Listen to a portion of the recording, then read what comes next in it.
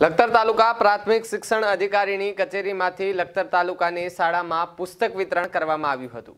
લખતર તાલુકાની ઉડતાલીસ શાળાના ધોરણ ચારથી ધોરણ આઠ ના પાંચ હજાર છસો ને બે વિદ્યાર્થીઓ માટે પુસ્તક પહોંચાડવામાં આવ્યા. લખતર તાલુકાના ઇન્ચાર્જ શિક્ષણ અધિકારી ભરતભાઈ જેસડિયા દ્વારા એક યાદીમાં જણાવ્યા પ્રમાણે લખતર તાલુકા શિક્ષણ અધિકારીની કચેરીમાંથી લખતર તાલુકાની આઠ પેશન્ટ શાળા નીચે આવતી હોવાથી ઉડતાલીસ પ્રાથમિક શાળામાં આવતી ટર્મ શરૂ થાય. વિદ્યાર્થીઓનો પ્રવેશોત્સવ થાય પરંતુ વિદ્યાર્થીઓને પુસ્તક મળી રહે તેમનો અભ્યાસ શરૂ થાય તે માટે પુસ્તક વિતરણ કરવામાં આવ્યું હતું. ધોરણ ચારથી ધોરણ આઠ માટે જુદા જુદા ત્રેવીસ વિષયોના પાઠ્યપુસ્તક મેળવવા, ઉડતાલીસ શાળાના આચાર્ય જુદા જુદા વાહન લઈ લખતર તાલુકા શિક્ષણ અધિકારીની કચેરીએ પહોંચ્યા હતા. પોતાની શાળાના વિદ્યાર્થીઓ માટે ધોરણ વાઇઝ પુસ્તક મેળવી પોતાની શાળામાં પહોંચવા, પોતાની શાળામાં પહોંચાડવાની વ્યવસ્થા કરી હતી. ધોરણ ત્રણ સહિત અમુક પાઠ્યપુસ્તક આવવાના બાકી હતા. આ પાઠ્યપુસ્તક ગાંધીનગરથી આવતા હતા, પરંતુ લખતર તાલુકાની ઉડતાલીસ શાળામાં પહોંચાડવામાં આવશે. બીએસ નાઇન્ટી ન્યૂઝ સાથે રિપોર્ટર વિજય જોશી, લખતર.